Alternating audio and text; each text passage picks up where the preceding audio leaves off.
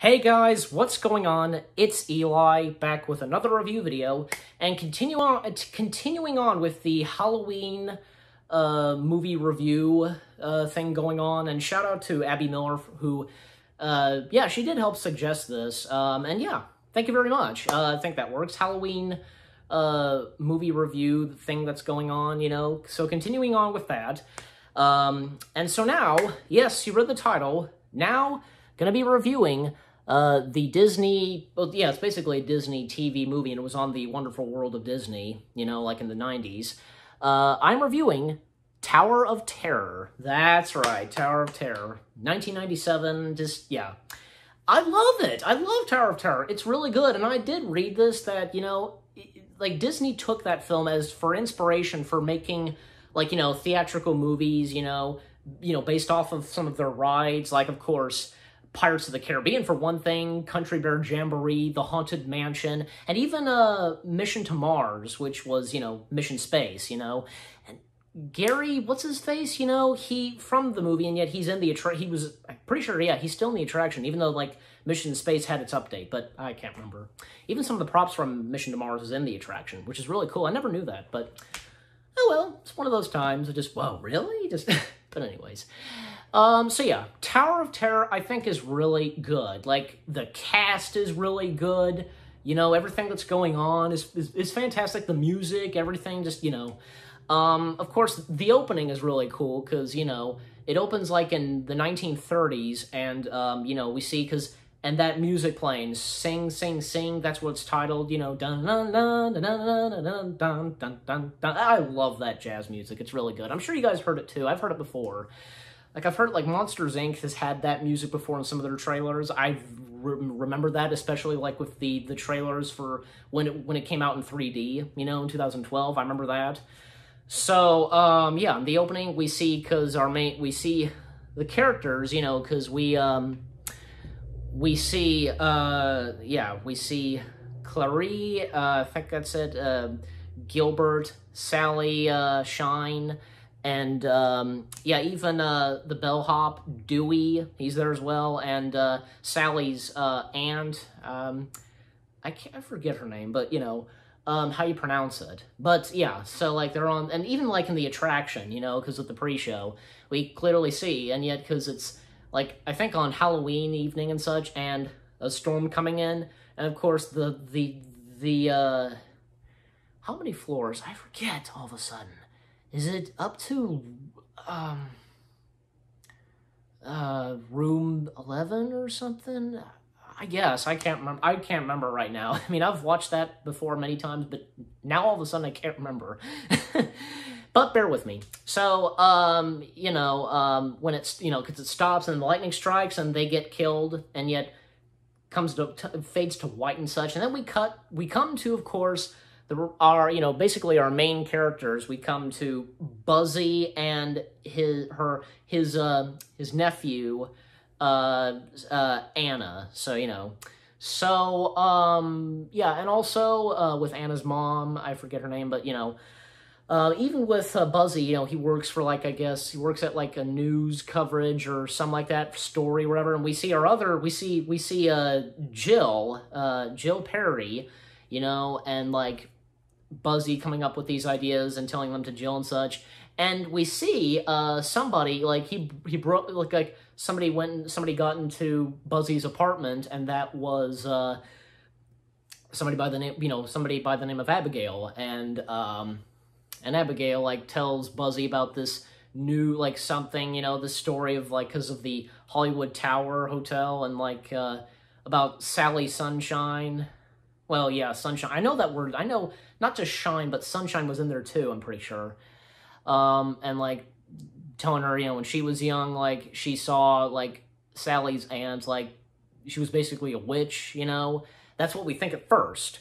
But um, of course, you know, Buzzy, like later he goes in and he he goes in, investigates in the in the tower, and that's where we come to, of course, uh, Chris O Chris Q Todd, we're short for or Q for short. played by Michael McShane. He's so good in this. And Michael McShane, he's a fantastic and lovable actor. You know, of course, also best known for like say when he was at, he was in the Richie Rich film, you know, with Macaulay Culkin as that as that inventor, you know, and he also voiced uh, uh, Tuck and Roll in A Bug's Life. You know, you're fired, you're fired. You know, I can do a decent impression of them, so you know.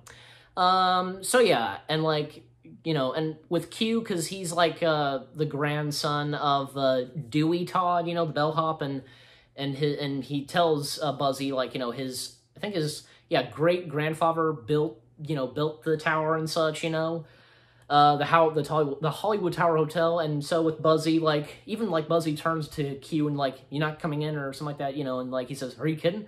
This place is haunted," you know, um, and so he goes in and like looks around and a few few things like you know I guess a little bit freak him out, you know, if you get what I'm saying. And um, you know, even when he walks off, uh, Sally's aunt pops out of a mirror, you know, and um, yeah, and so also we get the appearance of um, supposedly because this this out of nowhere this like actress or something that comes in and like um, you know offers to help out Buzzy and such, I guess for photographing or something like that. Even gets uh even gets his nephew um Anna like dressing up as Sally Sunshine, you know.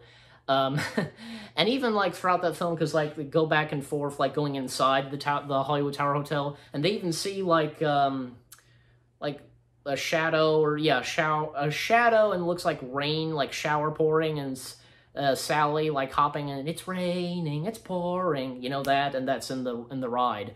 Um, and even like uh, um, a tray or with wheels comes in and they first think it's a dummy, but pops, you know, comes to life and like it's a headless dummy or something like that with a, what the heck is that uh, kitchen tool called? Um, I don't know, but, but anyways.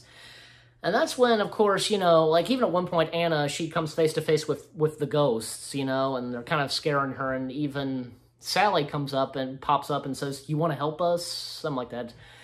And um, yeah, and that's when like Buzzy and Sally and not Sally, Al Anna, ugh, almost said Allie. um, they come face to face with the ghosts. You know, even uh, like the actress, as I explained, you know, offering to help Buzzy. Like, turns out it, you know, she is one of the ghosts, Clary. You know, even um, even uh, yeah, Gilbert. Um, he was kind of jealous and such. You know, you thought he was cute. You know. Um, yeah, those two are funny. But um, yeah, even at one point he takes a drink, you know, a toast, and you know, spills and like, whoopsie, you know, and yet uh, Anna confronts and saying that you know it was uh, Sally's aunt that did this with you know with ha- what happened years ago when the tower got hit by lightning and such. But it turns out that no, it wasn't her, and yet you know, um, saying that you know I would never do anything and never hurt Sally and such, you know. Even like some of the characters, like they say that, you know, she could be like, I don't know what the word is they say. But it turns out, basically, Abigail, you know, who I mentioned, you know, because she's kind of like the villain in this, kinda, you know. And we find out more about why she did that, etc. And of course, we come to Jill because she goes to, uh, um, uh, I don't know what it is, but we're where Abigail was, you know, and like find, you know, she find, you know, opens the trunk and finds a little secret place and like some like creepy stuff or something and basically what she did, you know, on that, you know, on that evening. So um and so, you know, um that's when, you know, Jill like realizes, you know, cuz Buzzy was say was come was did have something and like was telling the truth about something, you know, and like Buzzy, you know, because he's excited and such, but he promises Anna that he would that he'll be there right after he finishes his story, etc. You know, and little little uh little like because Anna doesn't take it very well, so you know, and even with Q, like at one point he was like, you know, I'm not going in there without him, and you know, because well, it's Buzzy, you know, and like he was um he was he felt protective with Buzzy, but of course Anna was convincing Q to go in and such and um, that's when, of course, Q and his grand and his grandfather Dewey they get they finally get to meet. And I forget what Q says, but Dewey asks him why he never came into the hotel, you know. And even Abigail she sneaks into the hotel with with this with the spell book or something, you know. And uh, Buzzy and Jill like, you know, I forget what I forget how it goes, but you know they they make their way back to the hotel, and that's when like Anna come, finds out because of Abigail that she was the one, and yet she has to go and she goes in she goes into the elevator to to warn them, but it closes in on her, and even right as Buzzy and Jill get there, and even Sally she got out of the uh, the elevator, so you know. So it's Buzzy, Jill, Q, and Sally. You know they're the only ones that are not in the elevator. Well, mostly Sally, and they all confront Abigail and such. And Abigail explains because no one cared about her about her like her birth or anything. It was all Sally. Everyone everyone just loved Sally and just you know, but Sally was the only one that did. Of course, she did love her because I think yeah, was Abigail Abigail was her sister, right? Yeah, and uh, like Sally, of course, loved her sister very much, and even you know knew about her birthday and such. You know, didn't forget, and um, yeah, and that's when because you know Abigail had already done the curse and it was happened. There was no way to break the curse. And of course, they make their way into a, the service elevator. And of course, you know, they get Anna out of there. And then when the clock strikes, they go down such. And that's when the one thing that, that, that stopped everything was when Sally forgave Abigail, you know. And that's when, of course, the elevator, everything's okay. They make their way up. They make their way up to the main, the, uh, the uh, room 11 or floor 11th floor the 11th floor or something i forget the i think it's 11 i'm pretty sure. 11 12 13 i can't remember. And of course they finally make their way to the party and the others they join and clary has a song number and you know even at one point q he gets to see his his granddad you know great grand dude you know?